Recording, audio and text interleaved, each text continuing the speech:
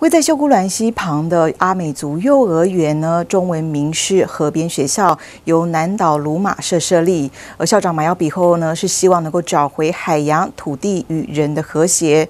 那么根据统计，在花莲地区采全族语的教学幼儿园只有两间。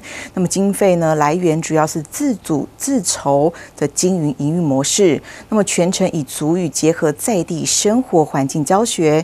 尤其夫与马耀也指出了，在体制。外办学是相当辛苦，也非常认同祖语传承的理念。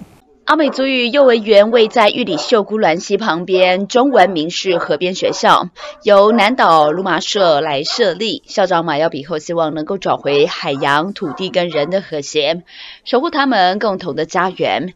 由于族语存续受到严峻的挑战，许多部落也开始运用各种方式进行文化教育。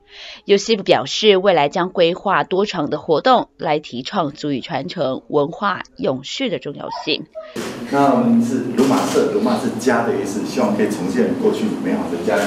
如果有的话，可以留下来的价值；如果失去的，可能继续重建。那我们希望做的是一个全阿美语的学习的空间。那简单讲，就我们希望我们的孩子可以用自己的语言听自己的故事。用自己的语言学习自己的文化，不只是阿美族，也像客家的朋友，有没有可能用客家语言听自己的故事，学习自己的文化？根据统计，花莲地区采全族语教学的幼儿园只有两间，经费来源采自主自筹模式来营运，全程以族语结合在地生活环境教学。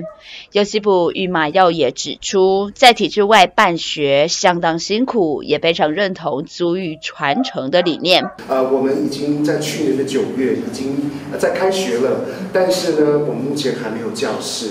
那没有呃失去过土地，没有失去过语言，甚至没有失去过文化的人，永远都不晓得我们心里面的痛。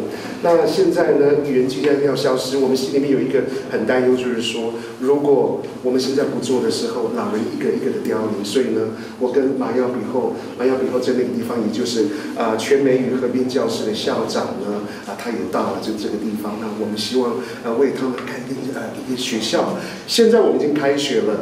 但是没有教室这件事情让我们很痛苦。那本来是只有四位，呃，今年呃这次开学到八位，那最快好像很快要到十五位，对不对？虽然校地要和政府合作，但是马耀比后强调，为了维持运作的独立性，不会向政府申请任何经费，全部自行小额募款。也因为向政府申请经费会有很多的规定、关卡的限制，也不知道会拖多久，可能最后就做不出来了。不像他们说开学就开学，二零一九年的九月二号，他们就办到了。